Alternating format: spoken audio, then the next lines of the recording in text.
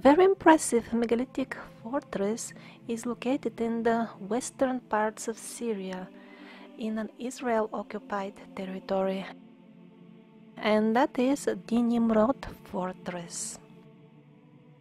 So, what we have at hand are multiple layers. The lowest one consists of considerably large megalithic blocks without mortar between each other. They reach up to 40 tons weight, and most of them lay scattered in the foothill below the fortress. And then we see a couple of layers of repair, each of them visibly of much lower quality of stonework. The style of construction to which the lowest layer belongs is not unique to this fortress only, although it is a fine example. We have the absolutely same type of buildings, a couple of them in this region itself, for example, the Temple Mount in Jerusalem, but also in Europe, for example, Bosnia, Greece, and Italy. And yes, there is a common thread, common theme in the official history of all these structures. The common thread is that the alleged history, the official history of all of them, consists of laughable stories which defy common sense and contradict each other. Now let's compare the Nimrod fortress with this uh, historic city in Jordan, which according to mainstream sources was conquered by the Romans and they built their typical Roman architecture consisting of columns and so on on the top of the older ruins. So here they are assuring us that the Nimrod style large blocks are pre-Roman now, those very same blocks, when they are in Baalbek, they are telling us it's Roman. In the Temple Mount, they are again assuring us that they are some 2000 years old. In Bosnia, they are telling us they are whatever, three or more thousand years old, and of course, they are built by some obscure, unknown tribe of which even the name they had to fabricate, and which tribe has no prior experience in building anything like this, and yet they managed to build sites the type of Daorson in Bosnia. In Italy, they are telling us it was actually a group of people who became very good in building and they went to a couple of places around central Italy and they built such things. And of course, there is no tangible proof at all about any of the stories, about all these sites that I mentioned. But who even needs that? People believe them anyway, even without a proof, just because it is written in the history textbooks and because it is shown on TV.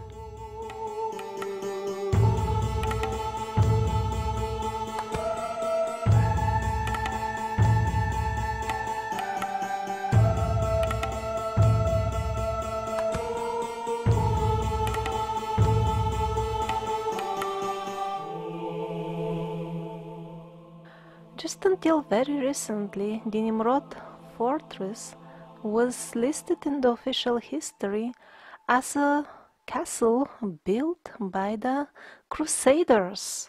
Yes, they were assuring us that the knights apparently must have lost temporary interest into their military pursuits and started building fine architectural pieces got into mood of architectural fantasies and the manifestation of their fantasies and ideas was in stones so huge. The full structure leaves the impression that it was built for giants not people of our size. For example the ceilings they are at the height of over 5 meters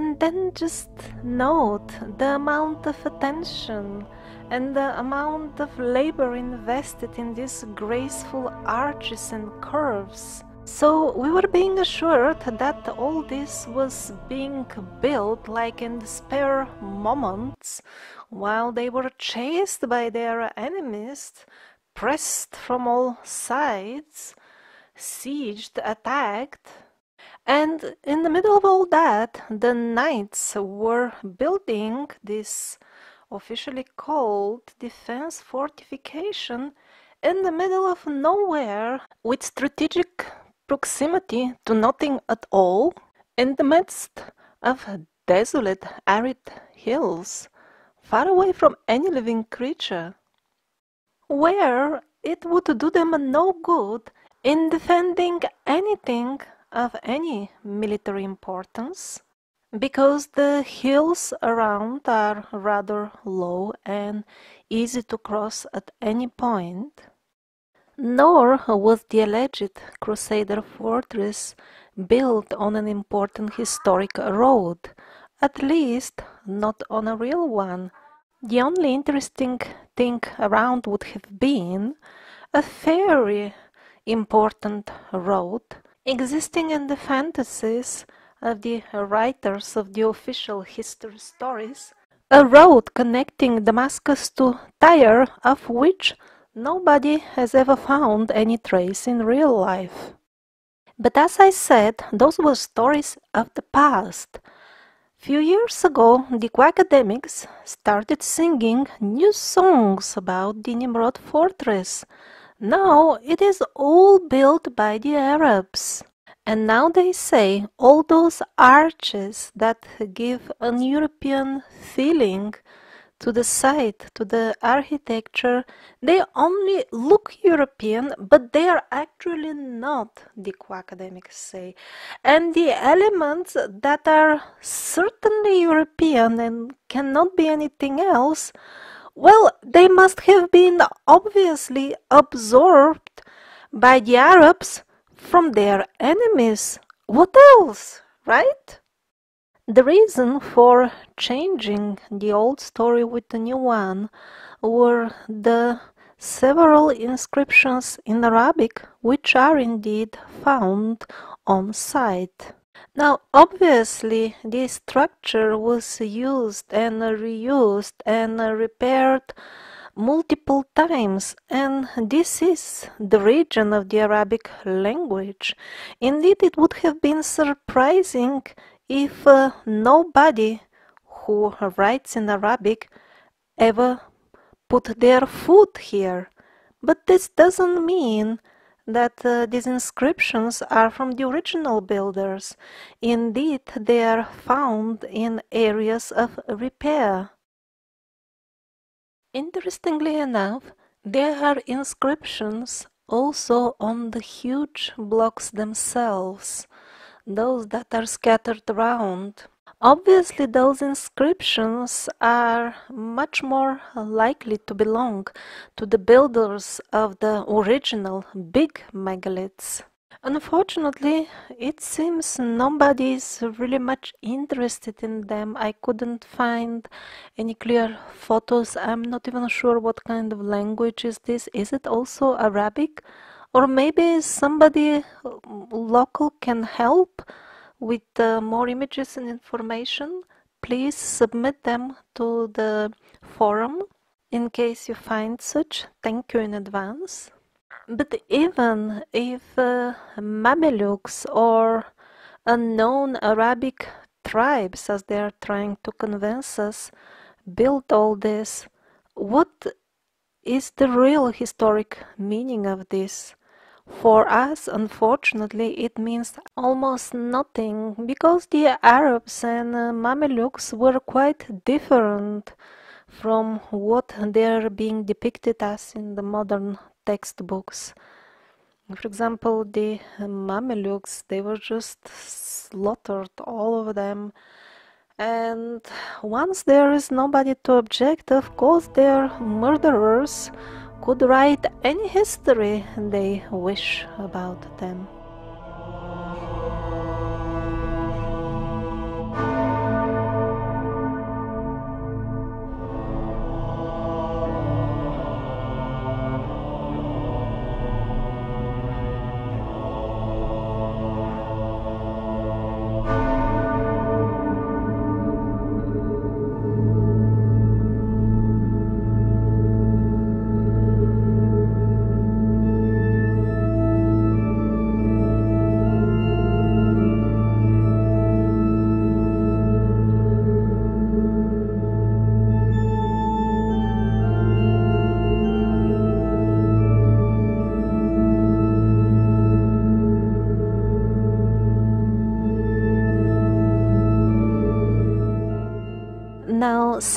Large megalithic blocks which rolled down when the original bigger structure got destroyed are too heavy for treasure hunters to move or for even for ordinary curious men and researchers they're just too big. That means that there is a very good chance that there are still some very interesting artifacts still laying buried below the heavy stones. And most probably, this is exactly why no excavation work and no research is being conducted at this actually extremely interesting historic site this tower with the blocks the size of a human only 35 uh, meters of it stick out but actually much more is still buried nobody is clearing not only the big stones but also the smaller rubble that practically fills up the inner portion of the entire fortress currently. So why did the original builders choose such a location, far away from anything strategic and any big city? Well, for that I don't have a hypothesis of my own, but I think that the explanation of many things should not be sought always in relation to military uh, violence and things like that. Maybe it is something completely different. As we know from the elf castles, some people in those times they just liked to put their dwellings on the top of mountain hills with great views. Maybe that was the prime reason for them, the view, why not?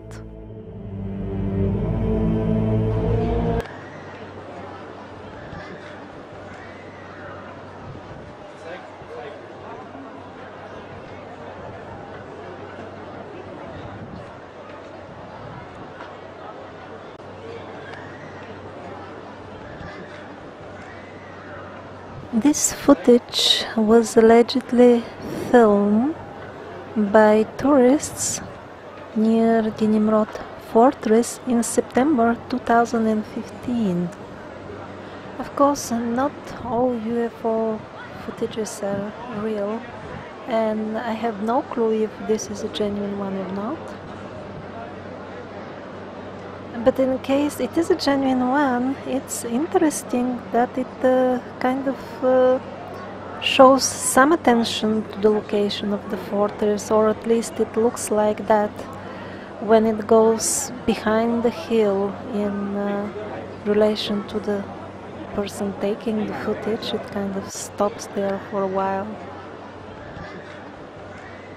In the vicinity of the fortress of Nimrod, there is a suspiciously perfect round formation with a lake in it which is currently in the process of uh, drying out.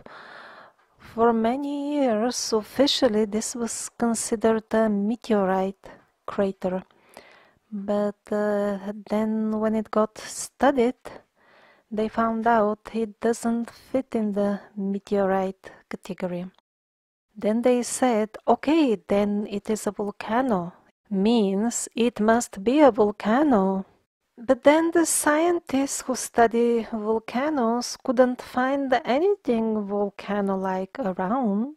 Well, I personally find it more and more suspicious to see such craters in the vicinity of uh, buildings that uh, bear this uh, typical style of the survivors architecture, as I call it. And also I find it very suspicious that they always attach try to attach some sort of dubious explanations to these craters. So Nimrod Fortress has got everything that should be potentially attractive for the alternative researchers, alternative history researchers of modern times. Most definitely, polygonal stone masonry, absolutely huge megalithic blocks. But despite all this, the interest on behalf of the alternative history crowd is relatively very small. Why is that so? When a polygonal stone masonry is found in, uh, let's say, South America or Egypt, it is very interesting uh, because it is attributed to aliens or lost very ancient civilization. But when the same stonework is found, for example, in Japan or in the Nimrod fortress or um, at the Temple Mount, it is not that interesting. Why? The reason is that here at Nimrod fortress, it is uh, quite obvious that the architectural style itself shows connection, clear connection with the recent cultures. And the same in Japan, it is interwoven in uh, relatively recent castles.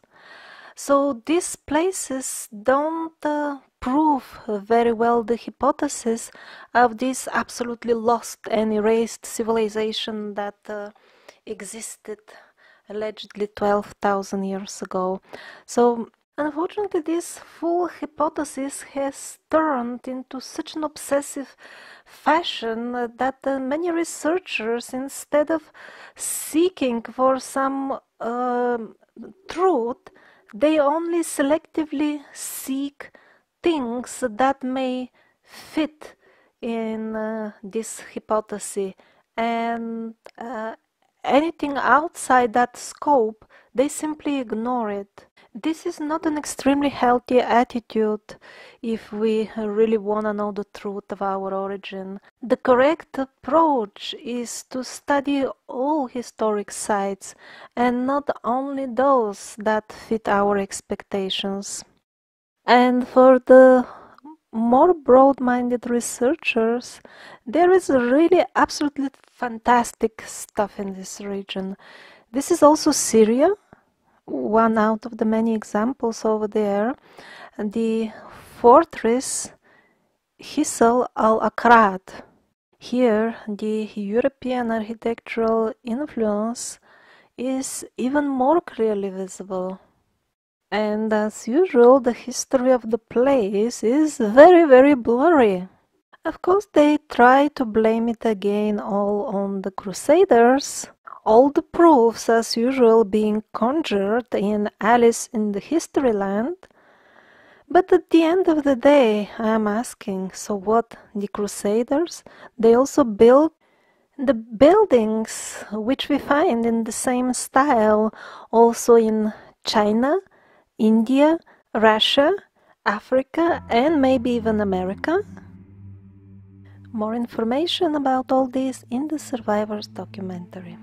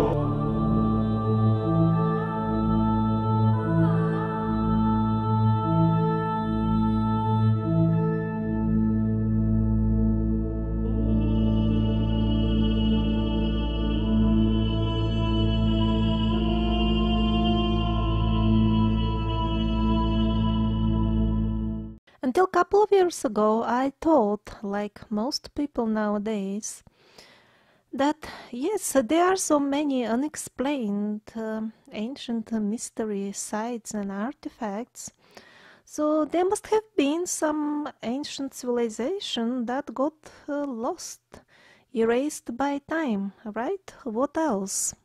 But then the events in my life developed in such a way that uh, even to my own surprise, I embarked on the project of uh, putting all these uh, mysteries and unexplained uh, artifacts and sites next to each other, kind of uh, putting together a big puzzle. But when the pieces were put together, the overall picture, the result, surprised me immensely.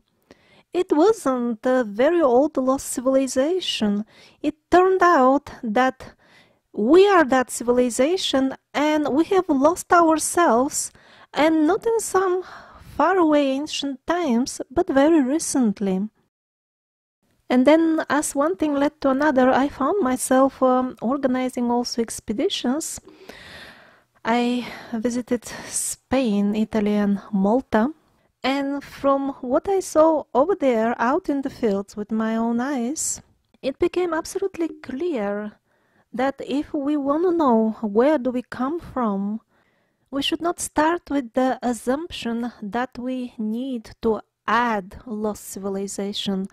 What we'll have to do is uh, rewrite the history thoroughly from scratch because it seems that uh, what we have been told in school for the history of the let's say the past 200 years would be more or less correct let's say roughly 80% and then as far as the alleged events that took place uh, from 200 to uh, more or less 500 years ago, the times of the Reformation would be uh, more or less half true. And then the history as we know it about the events which took place some more than 500 years ago, a couple of thousand years ago, that is like, let's say, 10 or 15% true. Now, I understand that uh, such a level of inaccuracy would be difficult to accept for most people. That's why what I'm gonna do is that I'm gonna show you various groups of ruins one after another, and then at the very end, I hope that you will agree with me that our history has been tempered with to a far bigger extent than uh, what even most alternative history researchers believe. The polygonal megalithic stonework of South America is a very well known mystery.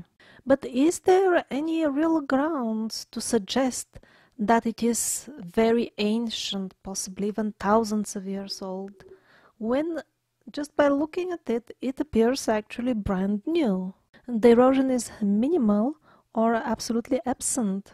Of course, in these particular examples, we may deal with a very hard variety of stone, but what about these stone structures from the Middle East? They could reach quite an impressive height, uh, by the way you can compare them to the size of the trees next to them. They easily reach the height of a building that is couple of uh, stories high. This particular example is from a site called Horvat Karta, one out of the hundreds examples of such sites all over the Middle East and the important thing here that they are also cut into rocks which are of the same hardness as those famous megaliths in South America. So the stone that they're made of is of the same hardness, yet look at the scale of their erosion. It cannot even be compared to the newish looking uh, South American megaliths. Actually, many of them were buried and some are still buried with uh, layers of earth. Also notice another difference. The South American megaliths are nicely located on the current ground level while these are uh, in cases uh, below it and actually the parts that were exposed um, they got affected or completely eaten up by erosion, disappeared completely.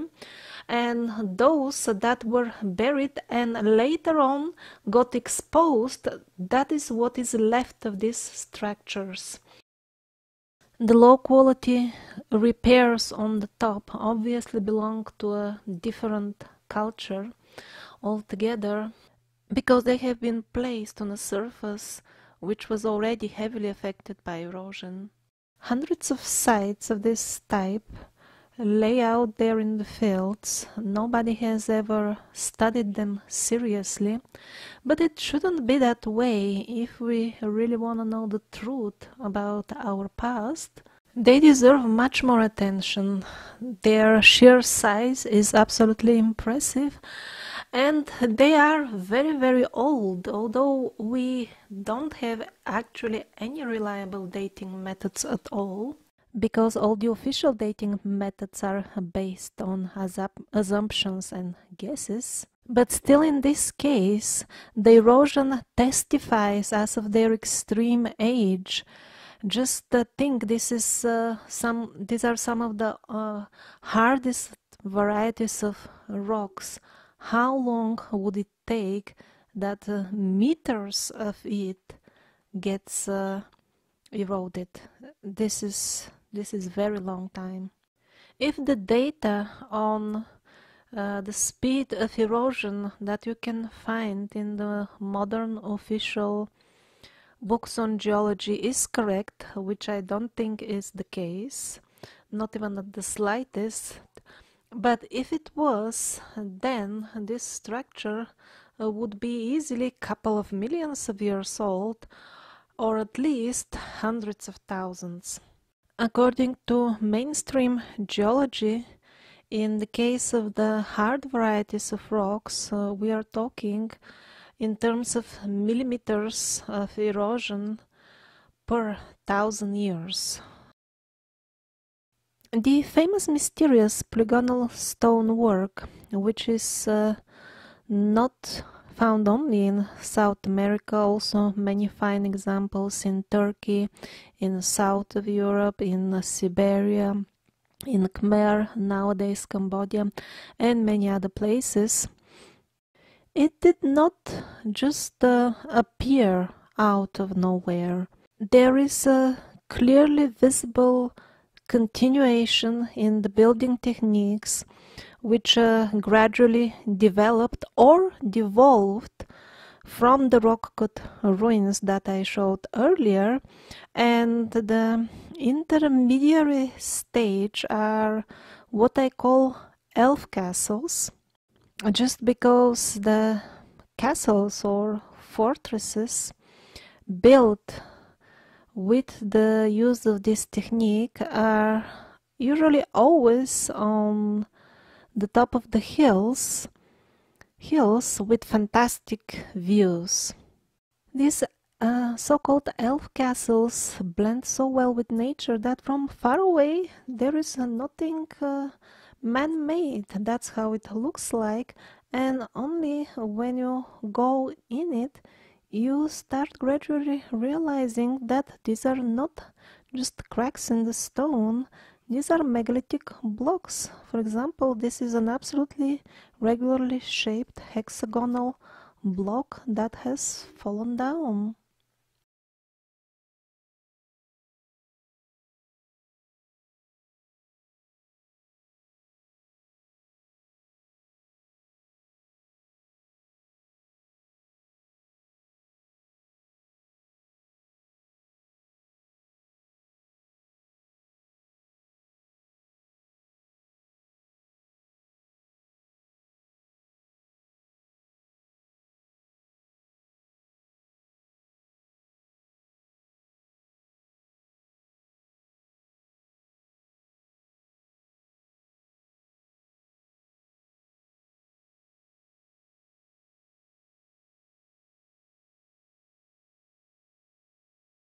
Now, this was an example of a relatively exceptionally well preserved elf castle. Fortresses, rock cut fortresses, with uh, often with elements of uh, giant megaliths mixed together with the rock cutting, are also found all over Asia Minor, the Balkans, and uh, southern Europe, reaching all the way to Switzerland and the south border of France, even. I've been trying to collect all the elf castles that I could find out about on my website in the directory of all interesting megaliths in the elf castle category. Interestingly enough, such uh, curious ruins are absolutely under the radar even for the alternative history researchers.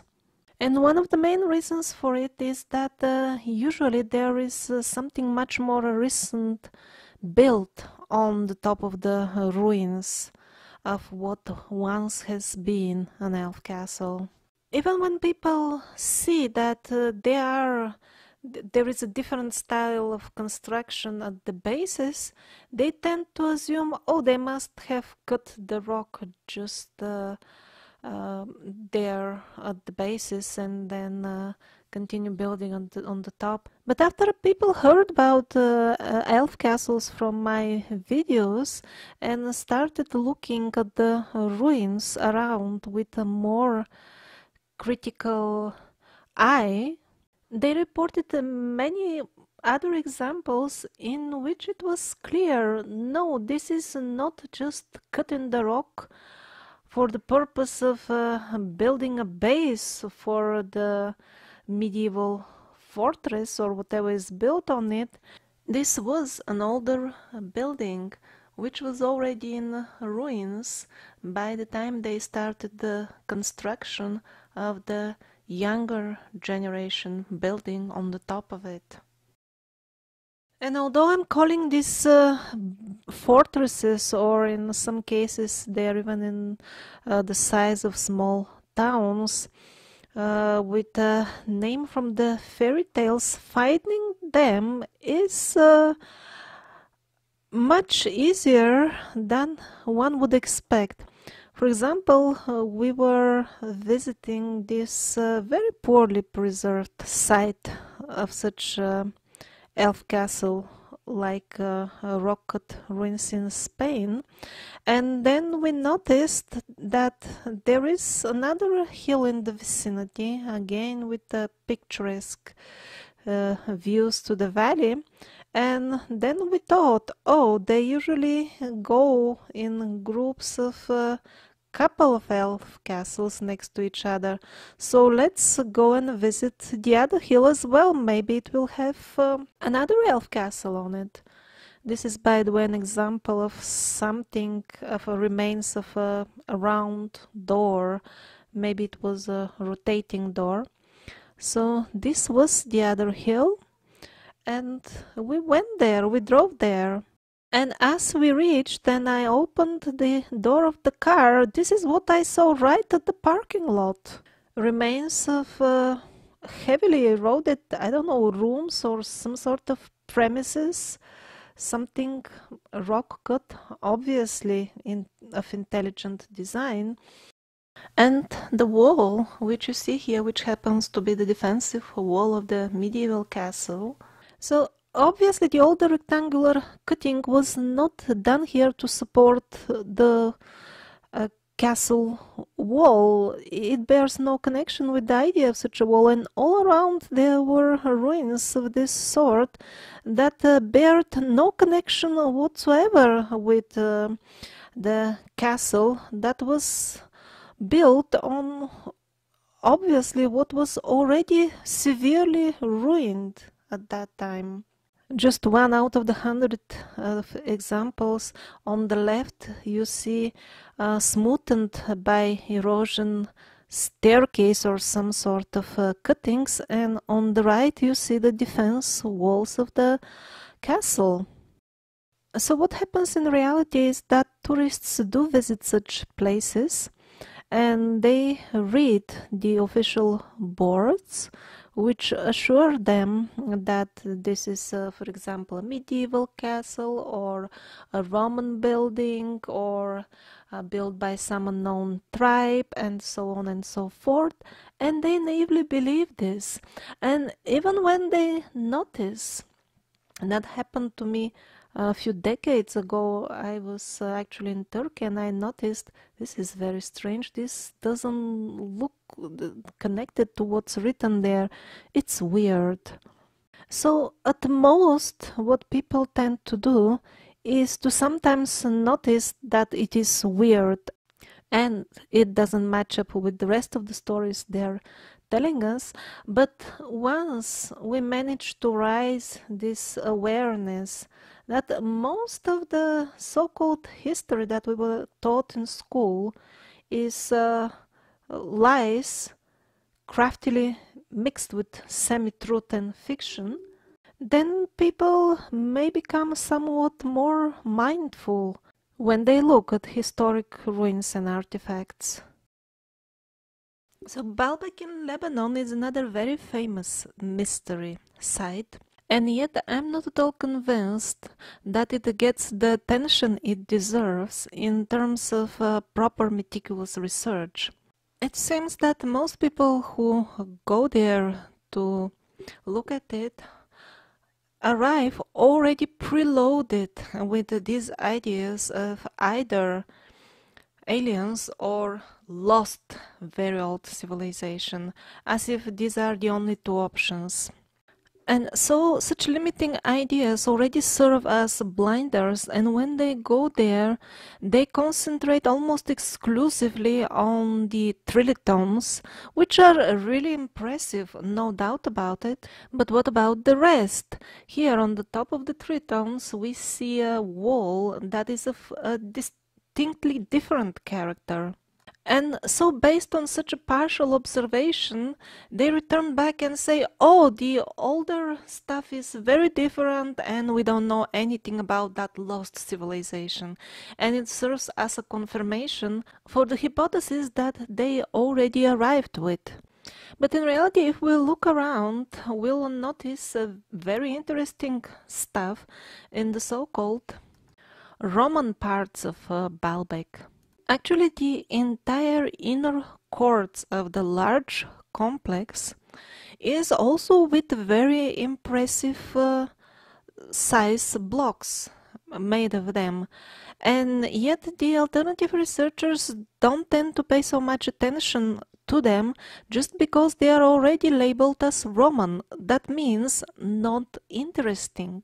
So anything that bears this style officially labeled as Roman passes below the radar without any examination at all. Like for example, absolutely unhumanly giant columns, some of which are a single piece of stone. Some of them are even sparkle polished, which shouldn't have been possible if the alleged Romans who built it were the way we are told they were. We also have uh, metal armature and pipes sticking out of the stones. And also in those uh, Roman labeled parts of uh, Baalbek we have uh, tool marks identical to those left by the tools that nowadays we call high-tech. And most importantly, in the inner courts of uh, Baalbek, there is no clear boundary visible between the old giant stuff and um, the stuff labeled as Roman. Yes, there is plenty of evidence that there was an original building which got destroyed one or more times and was rebuilt and renovated and remodeled I, we even don't know how many times. That is clear, but the point that is often missed out is that it's definitely not like there was something high tech and very huge, and then it got destroyed, and then the small primitive people came and tried to renovate it. Not at all. The degradation of building techniques is definitely gradual. We have been losing our knowledge gradually. This is the important point. And this is not just in Baalbek, also in South America. Yes, we have the really fantastic huge megaliths and then we have the very primitive Inca work, but there is tons of stuff in between. You can't even categorize it. So even there, this um, degradation was not like a sudden gap. The same thing in, in Turkey, in Italy, in Greece. Multiple layers showing gradual degradation. The high-tech tool marks get less and less. And the buildings last less and less. It always amazes me how the polygonal stonework became synonymous and almost equivalent in the minds of many people to lost very old civilization if it was obviously used by relatively recent cultures. One out of the many examples are the numerous temples of the Khmers. Most definitely we see polygonal work, each and every stone with size and shape of its own, nothing standard. So apparently there was a connection between these very old mysterious megaliths and relatively recent cultures. It's not just the polygonal shape of the stone blocks. Here we see the typical clamps, same as those seen in Peru, Turkey, Greece, and so many other places. Pyramids which make you feel as if you're in Central America. And also the very technique of building. All over the world we see the same thing. Blocks that are perfectly polished on the inside. And thus they fit each other with uh, amazing precision.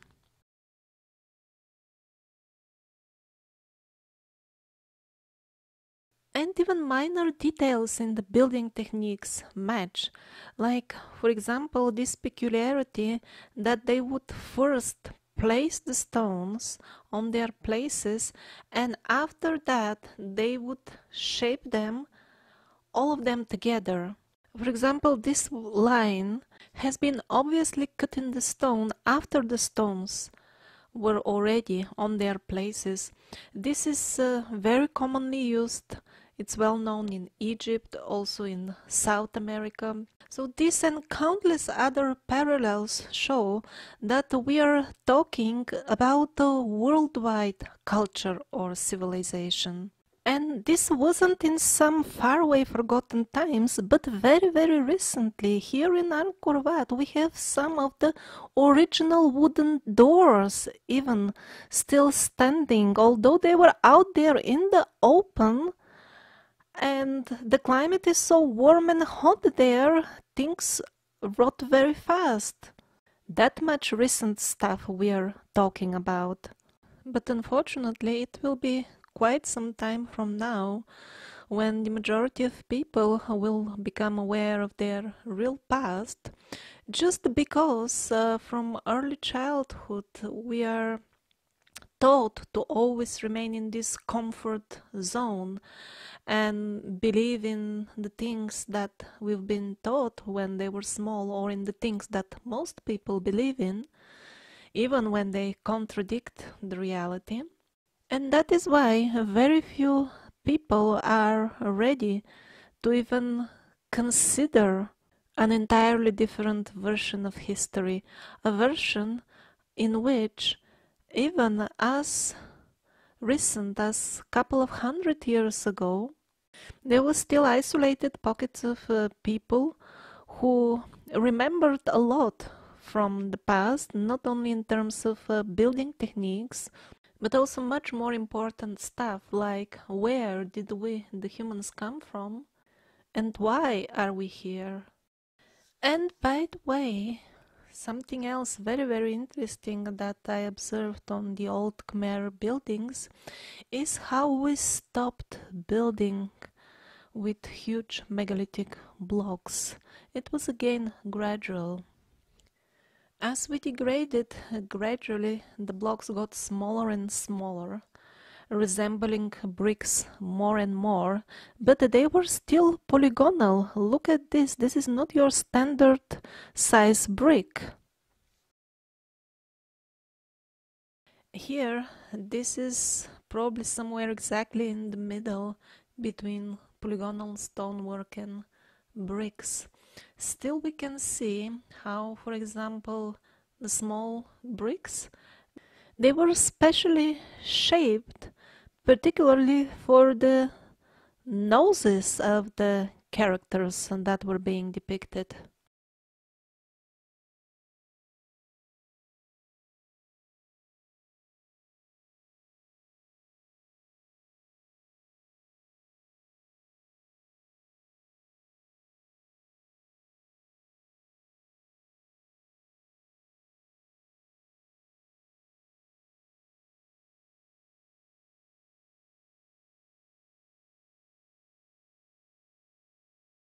Also, it can be observed that uh, first the bricks were placed and then the corners were cut and shaped, which is also a technique inherited by the time of the fantastic megaliths.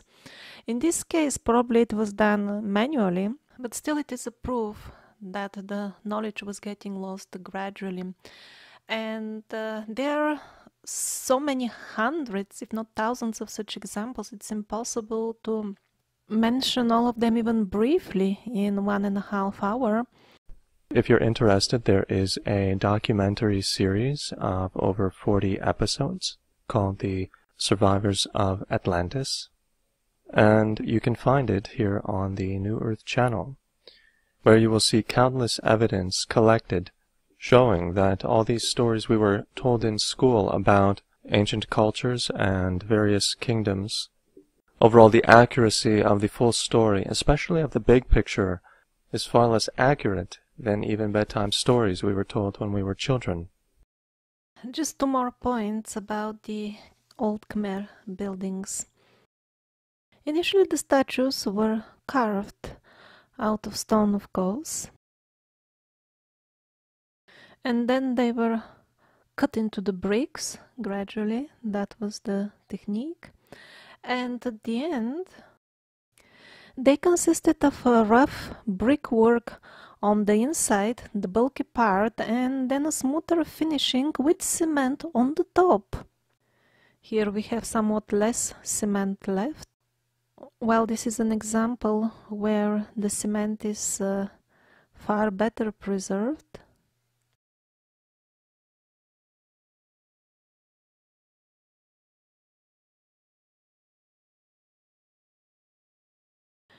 And this was a very commonly used technique all over Southeast Asia. For example, this is in Thailand, Ayutthaya.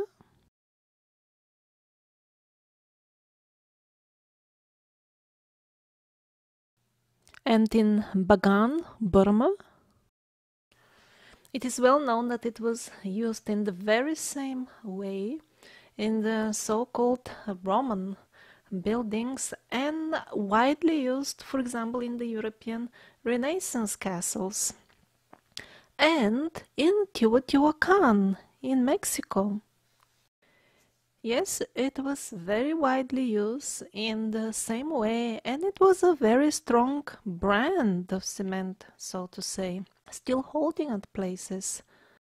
Now, if you visit the parts of Teotihuacan that has been prepared for tourists, you may get a very wrong impression about it uh, because all this is 100% modern construction and it reflects uh, the idea of a certain artist who was told that it should have looked like that. But if you go in an areas where there are still parts of the old stuff left, the walls are covered with a thick layer of cement.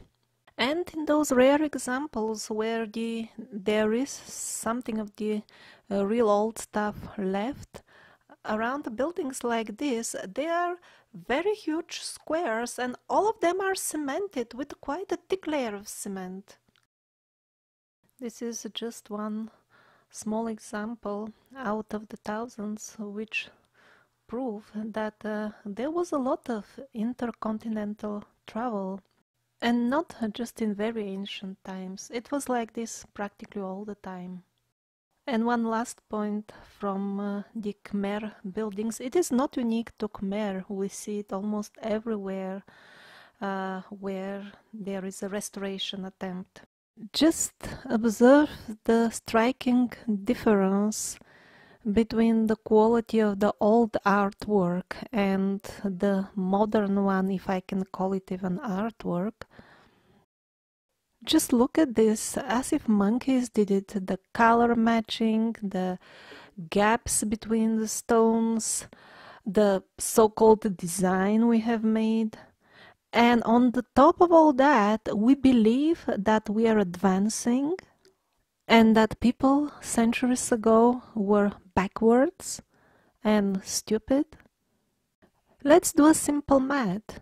Now the population is much more than in those times, and uh, the taxes are many times higher, probably, let's say, at least six or seven times.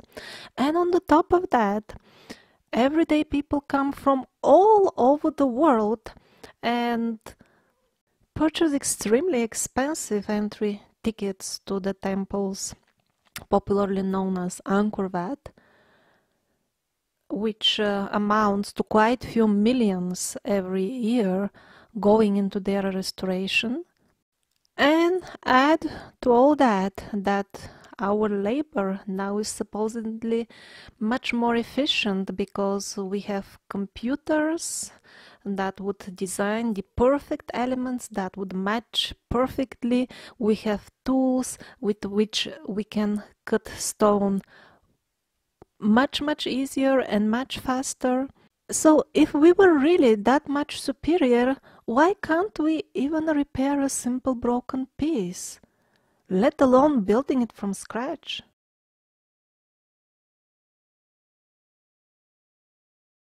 Now, an interesting connection with Baalbek can be made in modern St. Petersburg in Russia. So, probably many of you already think, yeah, but this is neoclassical style. People felt nostalgia for the graceful forms of the antiquity and they started just imitating and building in the same style. Yes, that is the official story we are told, but does it mean it's really true just because somebody said so and wrote so? For example, this is a comparison of an original column in Baalbek with a column from St. Petersburg.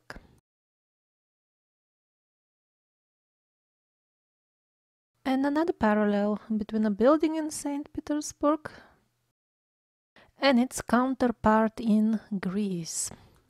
So, in both cases, we are told by the official books that all the stuff in St. Petersburg was built by absolutely uneducated, illiterate peasants who have never seen art of this style before in their lives, but a couple of young chaps came all the way from Europe and told them all about it. And the peasants started making these masterpieces. And it's not just the fine art. Those peasants really must have meant business because they erected with absolutely primitive means, allegedly, megaliths and columns. The columns being heavier than those of Baalbek.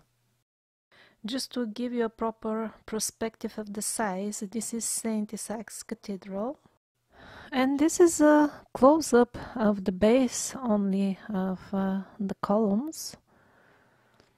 And this is the lower row. And these are the small ones on the top. Everything is monolithic, of course. And um, the peasants who allegedly built all this went as far as even using the same techniques as those used supposedly in deep antiquity. Here is your polygonal stonework, no standard size for the blocks, which by the way are of a very hard variety of granite. So how did the peasants know even minor details about the technique? Used by allegedly civilizations, cultures that are gone many centuries ago.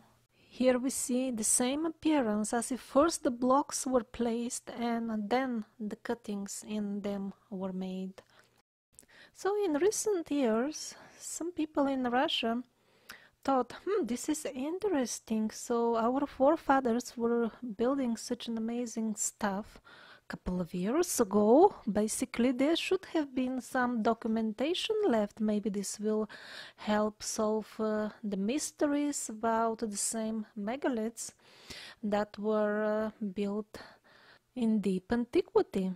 So when they started their research, first of, first of all, it transpired that all the original documents in terms of any details of how actually the building was done from the builders is uh, absolutely missing. There isn't a single piece. And most of the stories about the architects and the people who allegedly took part in the construction uh, actually don't have any tangible proof at all. They would be mentioned in the modern history books, often with uh, prolific details about their lives, but there would be no reference of any source of this information. And when you try to find uh, information from other source, it turns out that this is like a phantom person who never existed or lived uh, at a different time it wouldn't be suspicious if a couple of the people uh, never married and uh, never left a family behind that would uh, commemorate them or have any connection with them. But when all the people involved are like that, it it starts uh, looking fishy, the full thing. But forget about the people. Let's talk about the actual technology, the techniques used. How did they do it? How did they place these big columns? How did they transport them? Well, the answer to all this that is to be found in the official modern history books is highly unsatisfactory and often defies common sense. For example, uh, it is said that uh, they erected the biggest columns, pulling it with ropes, for two hours. Well, just for comparison, uh, similar or even smaller columns need a couple of days nowadays and that is with the help of the most advanced cranes that we have at our uh, disposal nowadays or, for example, they show paintings allegedly done at that time by eyewitnesses, by painters who were assured were looking and painting. But if that was uh, really true, how is it possible that a couple of artists saying so completely different things as if they were in different towns at that time? And some were painting, erecting of a column, others were painting a minor repair on an old structure. So it is suspicious uh, from all sides, and especially the claim that this type of quality of uh, artistic work can be done by absolute savages. Uh, explicitly, they teach the Russian children at school quotes like this is the most important information that they teach in school is that this was done by people who have never even heard of any measurement units what to speak of having any education or being literate. So they're offering us to believe that uh, somebody who has no clue how to build anything than a straw hut has engineered this uh, uh, megaliths, these are absolutely huge uh, monolithic blocks. These are multi-storied buildings. You really need team of engineers to put this uh, to put all this together. It's not just a couple of columns, it's an absolutely large complex of palaces. So, in each and every one of these palaces, we have items made of so many different materials. They need to be manufactured at specialized places for this. So, how would the sizes match? How would you manufacture a gold plated fitting for the green column if you don't know even how to count and you don't know what is a measuring unit how will you know how big is the column and by the way such complex compositions they require some sort of engineering project yeah something written down in detail how big it should be so that it get, can get manufactured. Where is all this? Why there is no trace of it even? Actually, the only source on which the mainstream stories are loosely based are a number of uh, illustrations in an album which was indeed printed at the time when all this was built and it was printed in France. The overall impression after looking at this album is that it is some sort of a forgery, an attempt to cover up the real story even uh, at that time. It is not a new trend. Because it is some sort of a joke like look at this man. He's allegedly doing he is uh, preparing the stone for the big uh, columns by inserting this metal rod in the rock. And after they insert many such rods the giant boulder will uh, split from the rest of the bedrock Okay, sounds brilliant so far, but how do you insert a 5 meter thin metal rod into the solid bedrock? Some technology, some hammer or something, will it not bend? I mean, there should be some common sense in these things. So here the friends of the hero from the previous image are happily and easily pulling a large boulder as if it is a uh, sack of cotton. Yes, this size of boulders can be transported by primitive means, and this is what the photographs show. Yes, people did it, but this is how they actually did it with this type of equipment. So, can we trust that French album just because it was printed at the same time when all this was allegedly built or maybe was it repaired?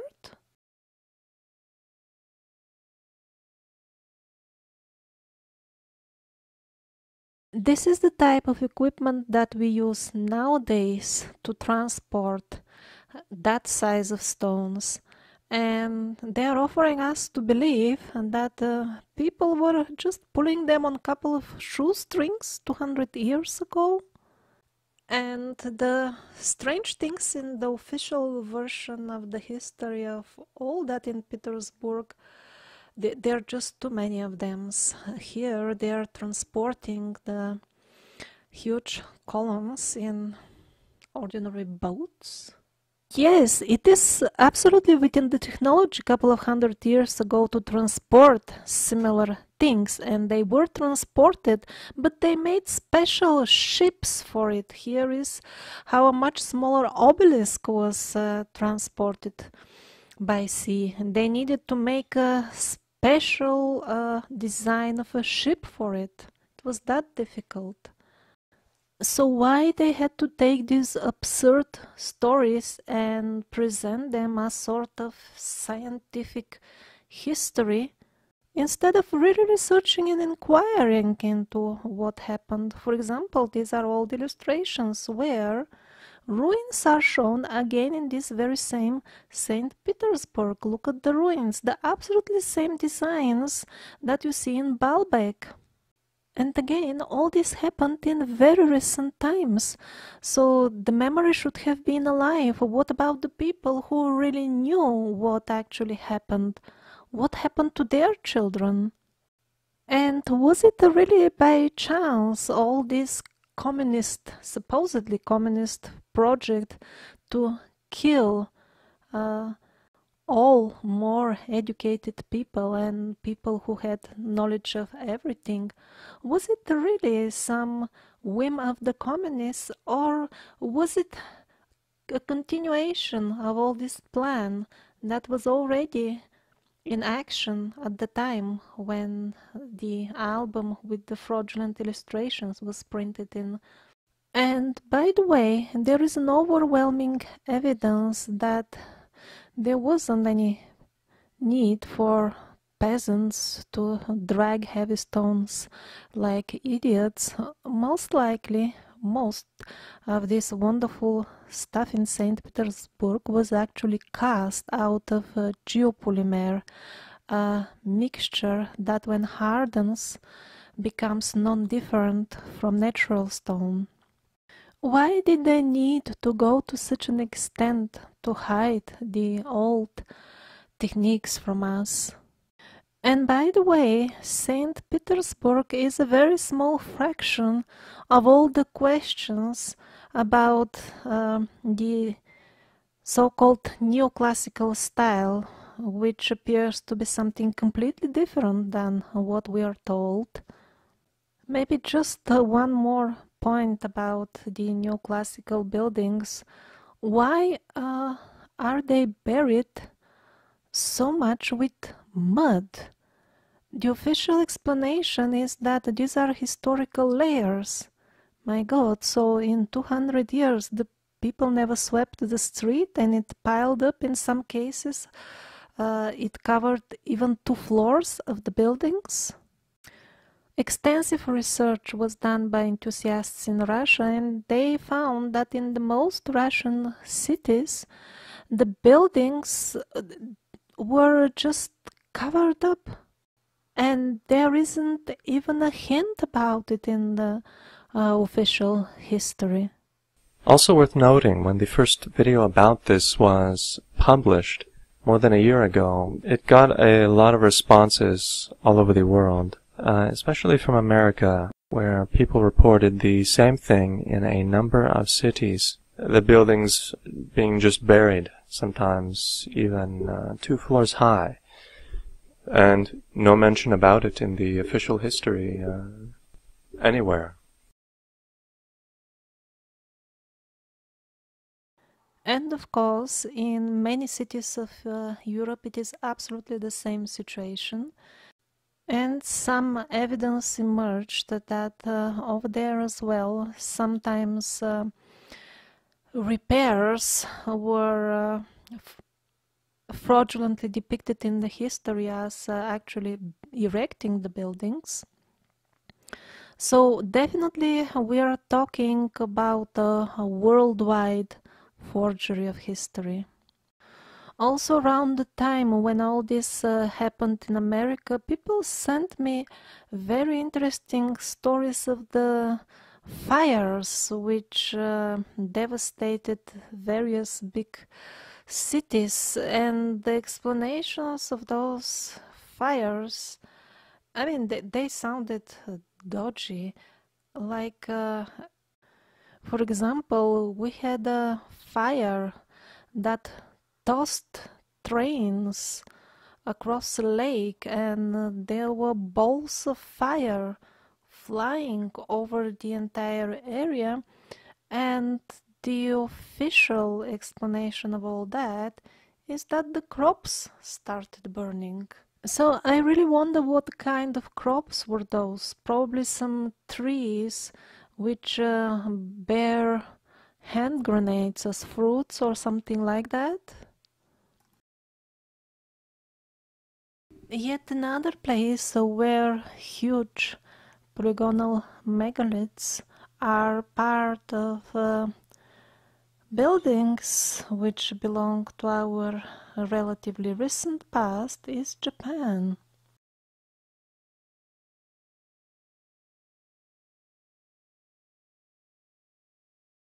And there is yet another class of ruins that is not uh, getting almost any attention at all. And these are the often very large complexes of uh, rock cut ruins, sometimes the sizes of uh, big cities. I even had to coin my own name. I called them the civilization of Egil. Apparently, till now, nobody showed enough interest to the point to uh, give them a name or even make some sort of a list or map of the ruins. This is the first attempt of such a map, and even this contains probably less than 1% of all the sites. Actually, to make a, it's impossible at uh, the moment to make a comprehensive uh, map because these uh, ruins are so numerous like in certain regions of uh, Turkey and central Italy where I visited, they're basically besides or under every village and town. And there are two main reasons for which almost nobody studies them as uh, the remains of a single civilization. And the first reason, as usual, is the blind belief in the stories of the official so called history about them. Often these stories are utterly ridiculous and uh, devoid of common sense, even absolutely inconsistent with the what you see actually. But yet, people tend to believe them, thinking that uh, somebody must have studied something, or um, at most they would notice this sounds uh, weird, and um, that's where it would end, because simply there is nobody to tell them that they are ruins with uh, the same style and same age all over the place, spread over continents.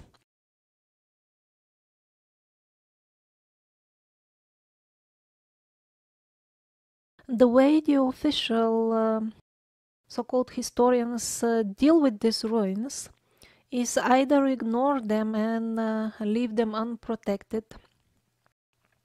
so that people destroy them with uh, agriculture or just they fall apart with time or they uh, make up some story, usually connected with uh, the historic layers that would be built on the top of such ruins. And then it will seem almost like true, and uh, people buy it. They get attributed to all kinds of uh, cultures belonging to all kinds of uh, historic times from primitive to very recent. And when they can't find any culture handy to blame it on, they just say, or oh, it was monks, they dug it out in the rocks to sit and pray there. And the second reason for which uh, these ruins don't get enough attention, and that is especially valid for the alternative history researchers, is that they are often in a very poor condition. Obviously, they are quite old. And in most uh, cases, they don't look like they're very high tech. And since um, landing places for saucers are not often found in the vicinity. Sites, uh, yeah, mostly the alternative history researchers tend to simply pass by.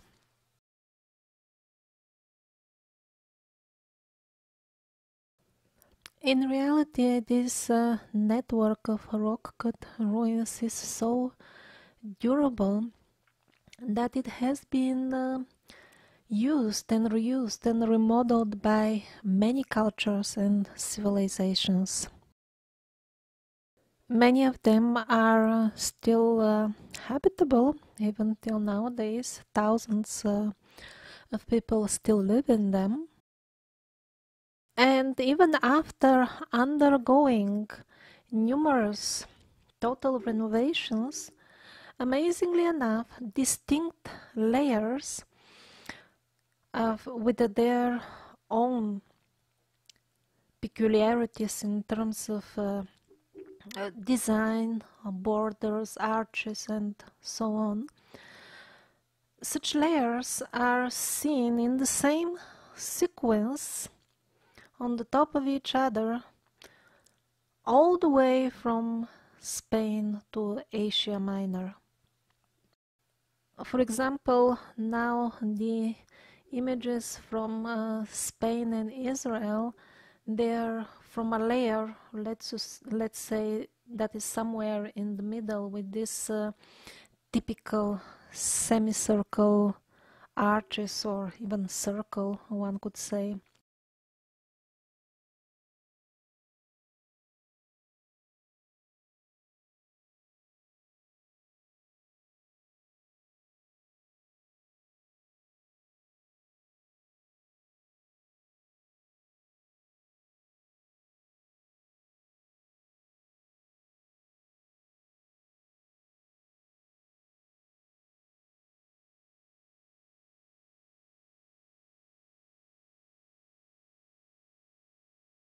So I coined the name Ruins of the Egil as a collective name for all the rock cut uh, complexes after the Egil castles in the Diyarbakir region of Turkey, very near to the border with Syria.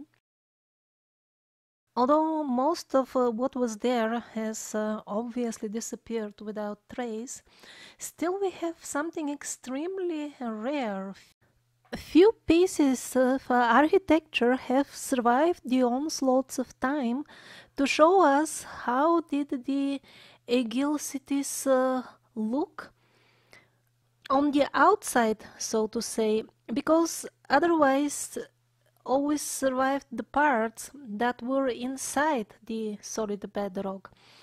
The parts that were on the periphery, they fell first with the earthquakes. Here we have some sort of a pyramid. Just to give you an idea of the proportions of the full thing, the line at the background, that's a staircase uh, partially exposed. Looking at the sheer size and complexity of uh, whatever little has remained of this full uh, complex, if not town or metropolis, I personally don't think this could have been done by primitive people as we are being assured by the mainstream sources. The Egil ruins go hand in hand with yet another extremely interesting type of ruins, and these are the rock cut roads. Or at least they look mostly like roads. So I will continue referring to them in uh, that way. They're found basically everywhere in uh, regions where Egil ruins are to be found. And they also have their layers. There are older ones and relatively younger ones.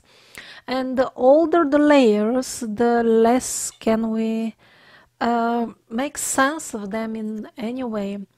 I mean, first of all, why do you even cut a road in the stone? This is so much work. And often this is done in the fields where you don't have any obstacles. And we're talking about kilometers long roads. It's not just uh, like we do tunnels to avoid some sort of obstacle. No, just kilometers, sometimes even hundreds of kilometers long, even in the absolutely perfect and vehicle friendly terrain. And uh, yes, although what looks like exactly like vehicle tracks is uh, often to be found on such roads, when it is, it uh, gives rise to more questions instead of uh, contributing to some sort of uh, clarity. Okay, so if they are vehicle tracks, then what kind of a vehicle could have used them? Certainly, our cars or carts have no chance in those conditions. Often, uh, I mean, uh, tracks can be knee deep or even over a meter deep. Also, they can be so close to the walls of the road that um, any vehicle that we know of would get uh, ruined by constantly getting uh, scratched and uh, hitting the walls of the road. And then at places we have such sharp turns that the vehicles that uh, we are accustomed to would either get stuck or ruined. Or even if you find the road uh, that uh, looks somewhat normal and acceptable, excluding the fact that uh, the vehicle has been with one wheel here, and excluding the tractor like marks that even crawl the wall. So let's assume it looks normal for a couple of kilometers and then it turns into something that looks like a pedestrian road or it has uh, steps or like a staircase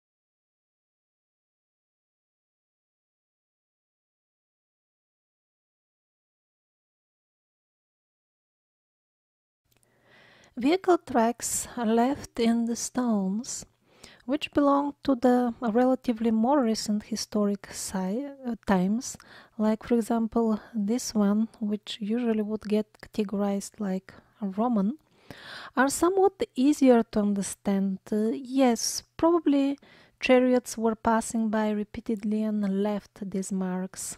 But in other cases, it's very difficult to make uh, sense of it all. Like this is in Turkey, and we are talking of uh, fields entirely covered by a network of hundreds and thousands of tracks. Like you can see how the soft mud splashed when whatever vehicle or we don't know even what passed uh, on this track. So when was that what kind of vehicle it is, no uh, sign of anything pulling or pushing it or propelling it. Recently, they found one more field entirely covered with such tracks in Turkey. The size is 20 by 40 kilometers.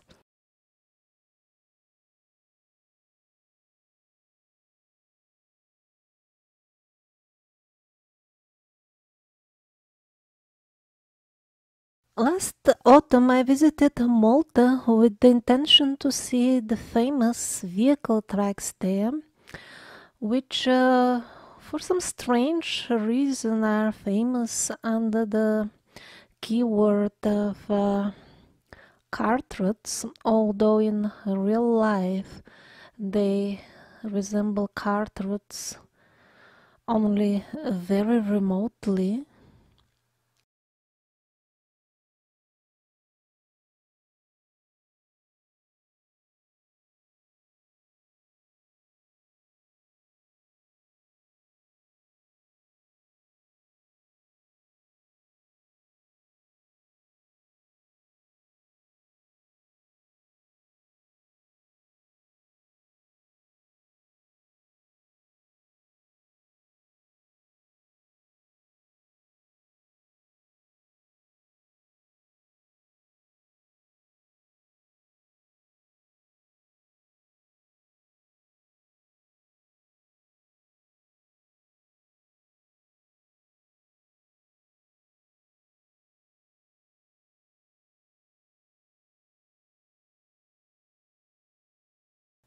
Well, little did I know that uh, besides the vehicle tracks, I would find something far more interesting.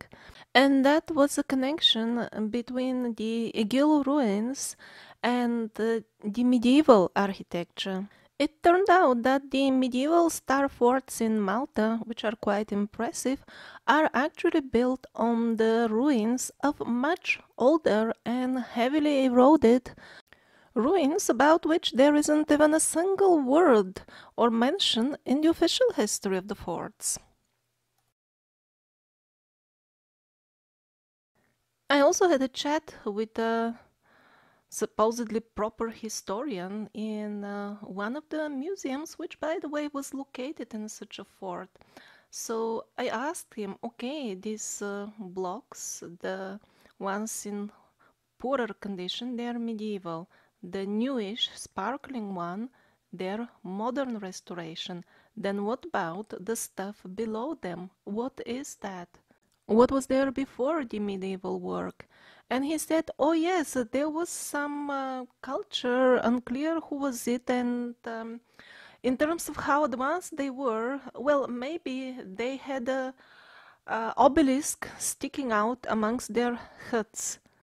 Basically, the official version of the history of all this implies that the rock cutting must have been done in medieval times. But, first of all, rock cutting on such an absolutely large scale, because actually a full city is cut out of the rock, not only the outside walls, the inside as well. This is simply not done in medieval times. And on top of it, we're most definitely assured by mainstream sources that the full history of the fort is documented in great detail, completely. They assure us that there was no major changes to the star forts. Minor remodelings, yes, but very minor. And basically they are telling us these are medieval walls, and 99% of what you see is authentic medieval architecture. Except for these small repairs, the modern ones with the shiny newish looking stone blocks. Now, what one can see over there on the spot in reality is that yes, the star-shaped form is coming from the old stuff, the rock cut portion. But aside from that, there is just an absolutely thorough remodeling of the place. Uh, even the main entries were at different places in the older rock cut uh, star forts. They had to be closed because um, obviously the original design did not follow the logic of a medieval defensive port the stairs were quite welcoming for potential enemies. Apparently, the situation was different at that time. And we noticed this in all the numerous star forts in Malta. Always the older original entries were uh, changed to new places and new medieval main entrances were built. And practically anywhere you turn, there were changes. Everything was completely remodeled. Here you see the old rock cut steps, something completely different medieval is on the top of them. Another example, this is the modern restoration. These are the medieval blocks. Then what about the massive rock cut wall? If it was also medieval, then why the medieval blocks embrace a wall that is already destroyed, eroded? And if they were cutting this wall, then why wouldn't they cut also the one on its right side? Why would they remove all that stone to then build another wall if everything was following uh, one single medieval plan, as the mainstream history assures us. For example, this is part of an arch. It's uh, got chisel marks. It even has an official label that it was an arch. So uh, obviously, a lot is missing around this piece of arch that is left. Behind it, there is medieval stuff in uh, good condition, and they're assuring us that before the medieval fortress there were only huts, probably with an obelisk. Is that all?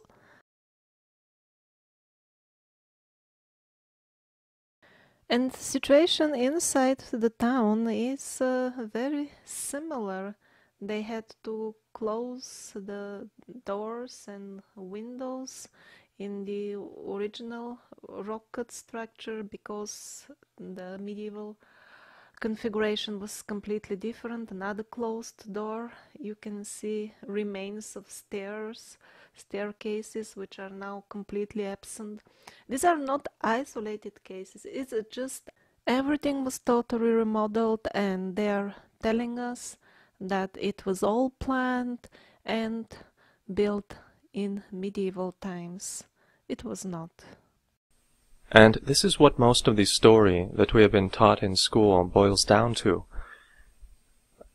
Semi-truth, uh, distortions, sometimes cleverly done, perhaps in order to enhance, for example, somebody's political authority, giving them credit for building and inventing things which they actually copied from an older civilization, or for simply creating uh, the hopeful illusion that we are a civilization that is constantly developing for the better, uh, advancing, so to say. So, since I'm running out of time, I want to share the conclusions of my overall research the main things. What was the need anyway to replace the history of an entire planet with sick fantasies? And that's not very easy. They embarked on uh, hundreds of years long project, if not thousands. Why all that? And then, since the history as we know it is mostly fraud, then what is the real history? Of course, the answers to these questions are based on uh, far more research material than I just uh, shared with you. This was just a quick overview of a couple of highlights, a very small part of everything that I managed to collect. So, why all this circus of replacing the real history of the entire human race? In short, by making us believe that we are simply descendants of violent apes, and our consciousness is nothing else but a byproduct of chemical reactions, then it becomes much easier to turn us into violent apes without any higher purpose in life or any human sense in life because if one believes that he or she is just a large lump of molecules, then it doesn't even matter how do you live your life anyway. But in reality, in our bloodline, we don't have only savage cavemen. There were also other types of beings which most people, if they face them now, they would call them gods. And since we are descendants of those gods, we have an extremely valuable heritage that we can claim in terms of genetic heritage. That would be abilities that uh, we would most likely classify as magical nowadays, which we have and we can use, but they're dormant, they're deactivated. And also, the other form of heritage is the divine knowledge, with the help of which we can live in eternal peace here on earth, a beautiful earth without pollution and without any wars.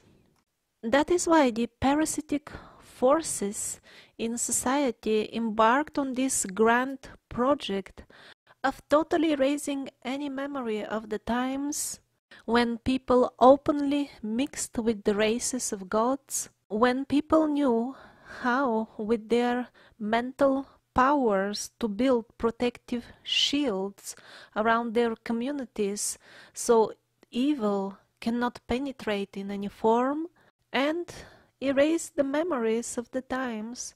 When we were using technologies which are more advanced than the ones we have now and uh, they were based on sound and other environmentally friendly principles. There were ancient books with the real ancient history, but they burned in the huge bonfires during the period that we call Reformation. Now they are presenting it as some sort of a religious movement because somebody wanted to translate the Bible into more understandable language and because of church bells and so on and so forth.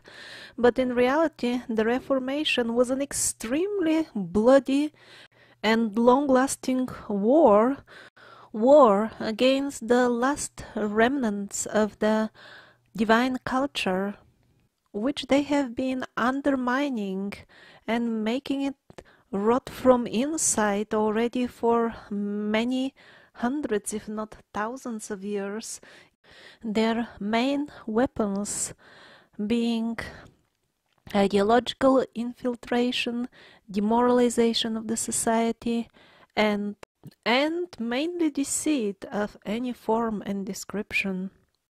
So around the time of the Reformation, the parasitic forces managed to appoint their own people as uh, kings and rulers of uh, most countries. It started in Western Europe and gradually spread all over the world.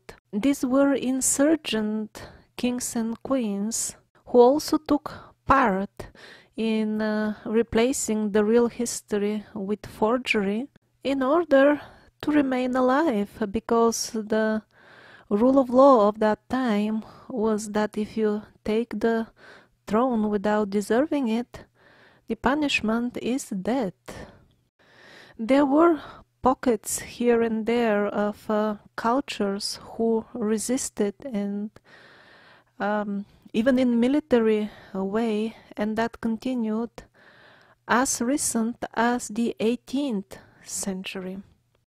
After the last righteous rulers, who probably also might have kept some of the very old books and certainly knew about the real history, so after they were gone, the common people became citizens of kingdoms with parasitic appointed kings. And um, they were forced, under the penalty of death, of course, to renounce their old beliefs. Probably the party in that now I'm calling parasites are those same race of creatures or race of people, not sure how should I call them, who caused the destruction of Atlantis. They were Atlantean themselves, but they deviated from the path of righteousness and got into black magic technologies and corruption. And when the corruption united with the misuse of technologies, that caused the demise of Atlantis. But it seems many of the Atlanteans escaped and managed to survive the destruction of their land. Some of them were good-hearted, normal Atlanteans who eventually spread all over the uh, planet and educated the primitive tribes that were populating our earth at that time. But also the other type of Atlanteans also survived a group of them and they were trying to undermine the good educational mission of uh, the good survivors. And now about the second point, what was the real history? The history that they destroyed in the Reformation bonfires. Well, to be honest, the more I research and especially the more I go on expeditions, the less I see any point in even making hypotheses about it. We're so far from the truth. We know so little. It is possible to recover everything and is relatively not so difficult, but at least at this point is not something that I can do alone. But still I can recommend a very short reading list with resources that uh, are not perfect, but at least uh, are much closer to the truth than your school history textbook. So, first in this reading list are the Vedic Puranas. They are all translated in English, although lots will be lost in the translation and anyway we don't really have them in original form because there were some reforms in the sanskrit language but at least they were not as much corrupted as uh, the rest of the old books. Actually the books that they're telling us are old like uh, from roman or even ancient greek times um, they're just medieval creations. None of them is available in original. Uh, we have something like copies done by certain small groups of monks. Uh, and always when they made the copy, the original disappeared all of a sudden in a fire or some accident. And by the way, the monks honestly admitted that uh, they're copying, uh, but like copying and correcting um, the books to fit the newly discovered history. Yeah, that's also in um, the times around the Reformation. But in the case of the Vedic literature, it reached us in a relatively and only relatively less adulterated form. If you try to read it, don't go into any commentaries, just uh, translations of the original text, that's all. And the second item in that uh, reading list would be the works of Anatoly Fomenko. His project called uh, New Chronology, it's a titanic work is an attempt to recover the last 1000 years of uh, human history. He doesn't venture at all in times uh, older than 1000 years ago. And although his uh, work is not flawless, it remains the only attempt of compiling a truthful and educated version of the events that took place during the last 1000 years. And although the human race, at least on a collective level, has turned away from the path of the eternal Dharma, the godly guidelines given to us by our engineers, the creators our benevolent guardians. In the Vedas they are called Adityas. Although we have turned our face away from them, they did not forget us. Our forefathers did not forget us. Because they were magicians, they could see through the veils of time what kind of difficult times will be upon their descendants, and they even left messages for us I'm just gonna read few lines from a Hermetic text called The Lament of Hermes.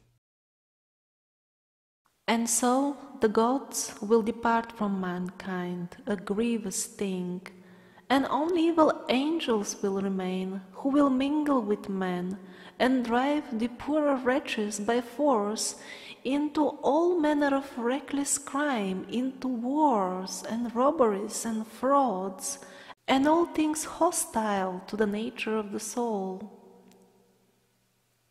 And then will the earth no longer stand unshaken, the sea will bear no ships, heaven will not support the stars in their orbits, nor will the stars pursue their constant course in heaven. all voices of the gods will be silenced.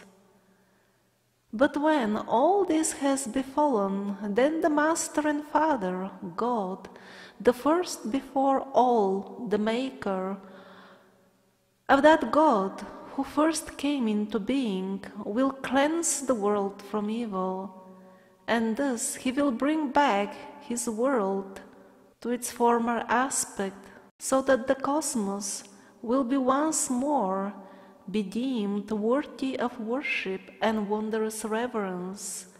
And God, the maker and restorer of the mighty fabric, will be adored by the men of that day with unceasing hymns of praise and blessings.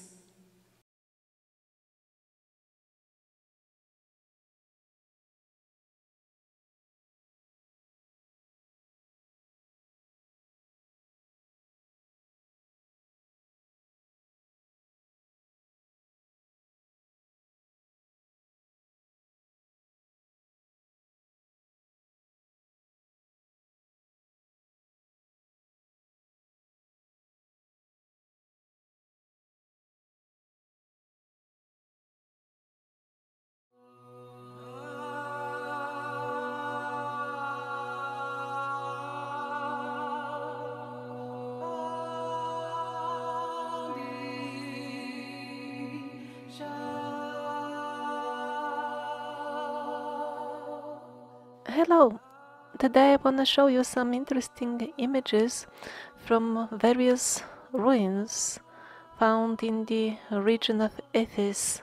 Although the ruins are not really famous, they have some interesting features like um, underground chambers made of uh, big megalithic blocks. Quality of the stonework that doesn't really match the quality that could be achieved with simple manual tools and a stone quarry on side that uh, opens more questions rather than giving answers.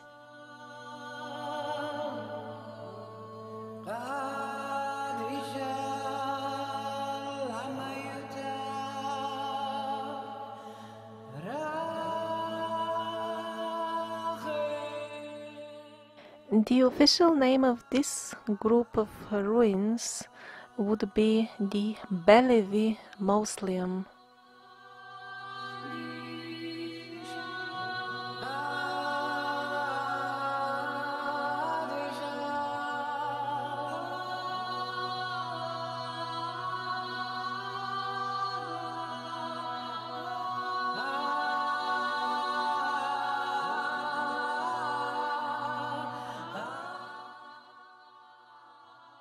Probably this megalith was built with the use of the same technique as the megaliths of Peru, for example, because we see the same protrusions on the stone blocks, like those seen in Peru and other parts of the world.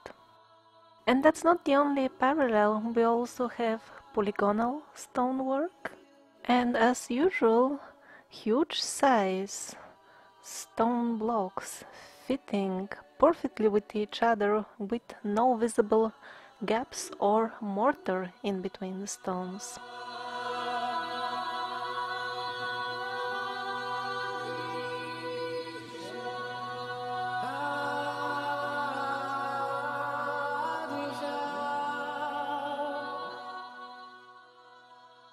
Also that same technique that we see in Peru, in Cambodia, in Egypt, and other places, as if first they placed the stones and after that they cut them. If they were following the logic of stonemasonry that we use nowadays, then this corner of the room would be uh, the, the stone would end at the corner. That would be much easier to make, but it doesn't. It's uh, somewhat unnecessarily, at least for our logic, complicated shape, but apparently they had a different style of work that we don't even understand. maybe this was easier for them.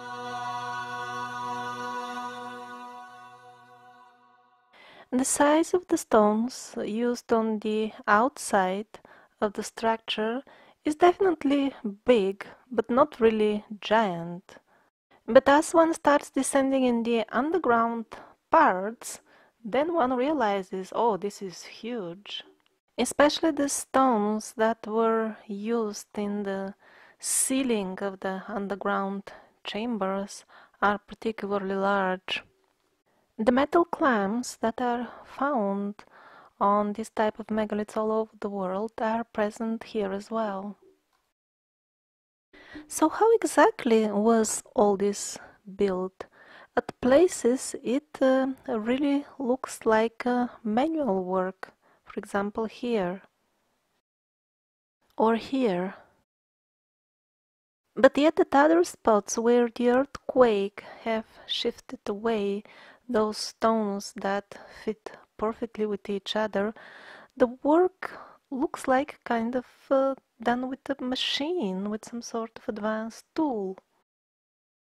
According to the Russian research group of LAI, which examined the site, and uh, most of the images in this uh, video are from them, by the way, but they think that there is a lot of machine, high-tech machine work done on the site. Like, for example, do you see those fine lines? They go on both sides of this edge and at the same time pay attention at the size at the scale of everything. It's just a couple of centimeters or some of the details are even the size of uh, millimeters. And for what? Just one of the numerous blocks on the outer casing of the alleged mausoleum it would be kind of uh, strange and necessarily uh, troublesome to go into such uh, minor details when you build something of the size of a building. We don't do this even nowadays when we supposedly have tools which would uh, produce such a result much much faster. So were thousands of primitive chaps playing around for years with small files to uh, make all these details. And that's uh, only about the borders. What about the ornaments? It's not impossible to make this type of ornaments with uh, manual tools only, but then why would you spend years after that polishing them? Like as if you're making a jewelry, not a building. Look at the tiny, minute, sharp edge. One would need to set the micro mode on one's camera to even take photos of it.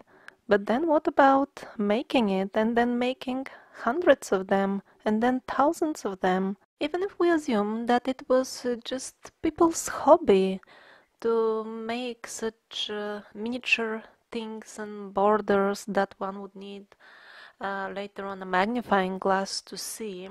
And um, at the same time they didn't pay attention to other things like for example the neighborhood uh, tribes ravaging their homes or um, the crops that uh, would uh, be feeding them later on maybe would need watering or some sort of um, field work apparently they were not interested in that things they were um, more into borders but this doesn't explain one other thing how come all these decorative elements are done with digital precision? Like for example, this border is uh, 20 meters long and it's absolutely perfect. Yes, it is possible to polish it. After all, it could be marble, so it's um, uh, polishable with a harder stone. But how do you make it perfect when you do a purely manual work? at places it will be not not so well measured. Like this is also a beautiful tribal art, but this is manually done. It's rough, it's shaggy. Well, the expedition team found it somewhat suspicious that all these uh, artistic elements are exactly of the same size, which is not typical, if at all possible, for manual chisel work. Appears to be cutting marks, some sort of uh, tool marks are also found here and there on the site.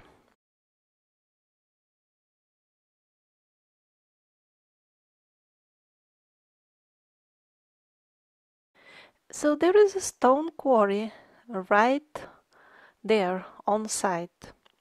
At first sight, it gives an overall impression that this is some sort of a primitive quarry. But when you start looking at it, you realize, well, actually, this couldn't have been a chisel work. For the simple reason that this uh, channels, these cuttings are too small to insert your hand and wave a hammer around. The marks on the side of the quarry also are not particularly like that of a chisel, but uh, as if the stone was uh, melted little by little and then removed somehow. Chisels don't leave marks that stretch on for a couple of meters. Well, the conclusion of the Russian group is that uh, they have been using some sort of technique that is uh, far away from our current understanding. So, who built all these ruins? They appear to be in what we would call antique style, and yet, how were the people of the antiquity connected, for example, with uh, the builders who were using the same style in Peru or in Egypt? They must have had really close connections because so many elements repeat each other all over the globe. In the cool of the evening, they used to gather The stars in the middle, circle near an old oak tree at the times appointed by the seasons of the year and the phases of the moon. In the center stood a woman equal with the others and respected for her worth. And as far as the worldwide civilization which was uh, building in this style, it was defeated. And those who defeated them persistently slaughtered everybody who had bits of the old knowledge. That's why we see such architectural elements even in cultures that existed few hundred years ago, and yet there is never any trace. How did they do it exactly, and how were they connected? Um, to the other cultures, often across oceans, which also used the same techniques. those came to power through domination, and they it in the worship of a dead man on a cross. They sought control of the common people by demanding allegiance to the Church of Rome and the Pope declared an inquisition. It was war against the women whose power they feared. In this holocaust against the nature people, nine million European women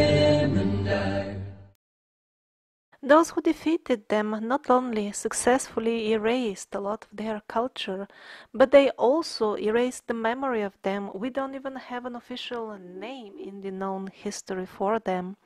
In my documentaries, I call them the survivors, but in this song, they have even a better name the nature people. In this holocaust against the nature people, nine million European women. And a new fraudulent history was conjured by those who were victorious so that the children from early childhood are fed up with lies in school and when they grow up they don't inquire into the real history. Let's see what they're telling us about this site officially. So from this fable here you can find out all the names of the chaps as if somebody knows anything about them. And even the details like his body was guarded by a faithful dog and was found a few days later and sent to his son Alexander etc and then they are telling us uh, fables about his grandmother, a Persian princess, married a distinguished general, etc. And all this, of course, is made out of thin air. There is no proof, no historic evidence behind it. But it's very skillfully made and it creates the impression you see they know such small details even uh, how many days the faithful dog was uh, guarding it so how is it possible if they know the details that the uh, major things are even wrong. That that's impossible, right?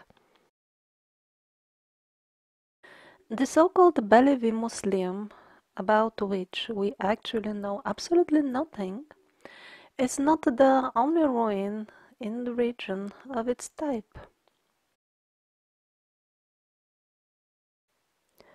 For example, this is in the nearby Ephes, the lower layers of the construction are actually identical to that of the Bellevue Mausoleum.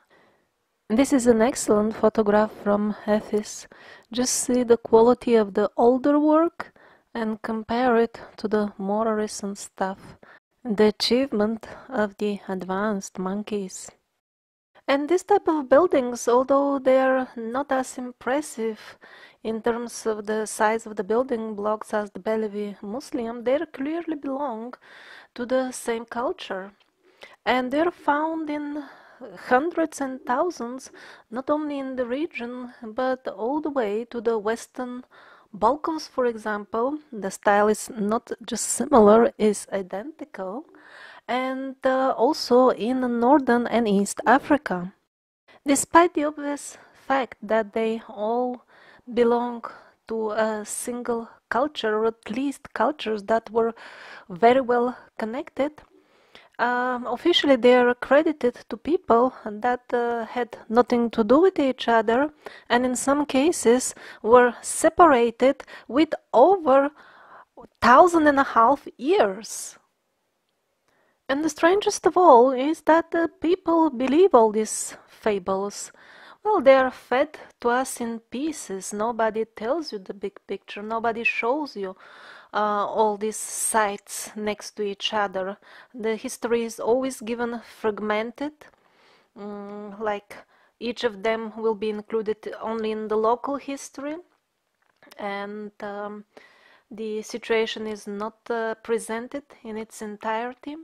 And because we are descendants of uh, those who survived the cleanup of the most learned and brave people, we are actually a descendants of those who abandoned the ways of their forefathers, the nature people, just to remain alive, because the bravest ones, they paid with their lives just to be free.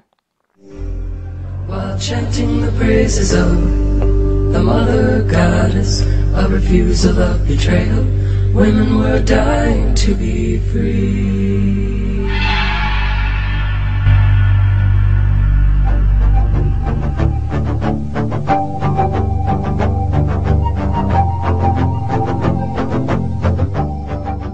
So those who were more brave, they were burned at the stake or killed during the various other holocausts of the nature people, and we're actually descendants mostly of the cowardly portion of the population. And basically, we are born in a society of cowards, and since childhood in school, we are taught how to be an obedient, cowardly robots.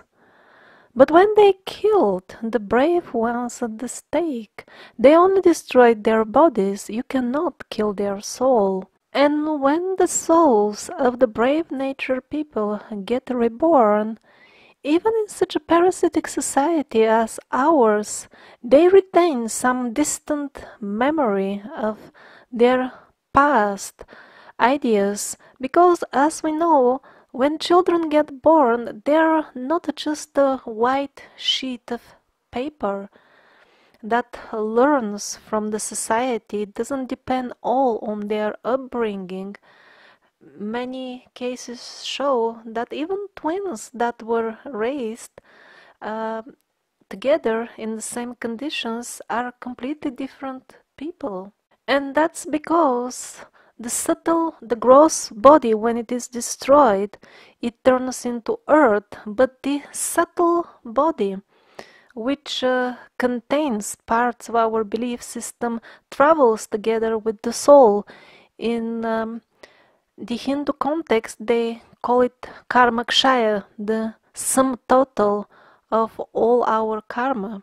And that contains countless seeds from our past and future lives. And when the winds of change come upon Mother Earth, and there is chance again that the people will decide to return to being nature people, then the seeds of knowledge of the nature people will sprout again. And the people grew through the knowledge she gave them. Herbs to heal their bodies, spells to make their spirits whole. Can't you hear them chanting, healing incantations, calling forth the wise ones, celebrating and song?